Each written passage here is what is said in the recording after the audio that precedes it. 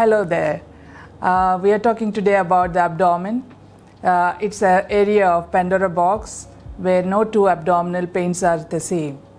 Hi there, this is Dr. Prashanthi. Uh, I am consultant physician at Apollo Jubilee Hills, Hyderabad, and today we'll be discussing about approach to the abdominal pain, which is uh, complained by almost every patient, almost every human being uh, has to face this in their day-to-day life. So, as I have said, no two abdominal pains are different, and it is not the same treatment of antacid syrup. The abdominal pain can be approached depending on the location where the pain occurs. The most common is the upper abdominal pain, and we have the acid reflux disease, acute gastritis, which can be due to your alcohol consumption, or it can be the serious thing like peptic ulcer disease. Then we have uh, pain in the right upper quadrant. It can be due to gallbladder stones, it can be due to inflammation of your gallbladder. Then on the left side, it can be due to various diseases like enlargement of the organs.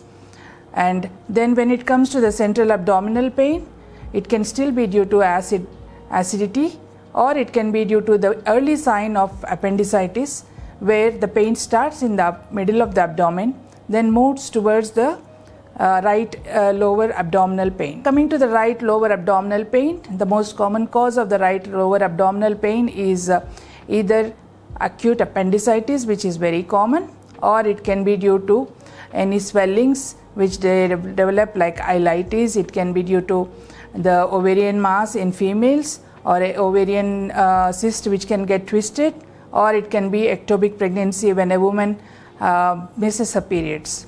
Similarly, on the left side, the left abdominal pain is mostly due to our common diarrheal illness, amoebiasis, or colitis, which can cause uh, diarrhea and nausea and vomiting. And left abdominal pain in females can also be due to ectopic pregnancy. It can be twisting of the ovarian cyst or any mass in the ovary or in the uterus. And lower middle abdominal pain can be due to urinary tract infections, bladder infections, and uh, back pains are most commonly due to urinary infections and also because of kidney stone disease.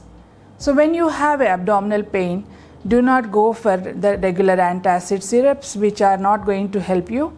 It is better to consult a physician, get your pain uh, evaluated, and get the adequate treatment and also the required test done.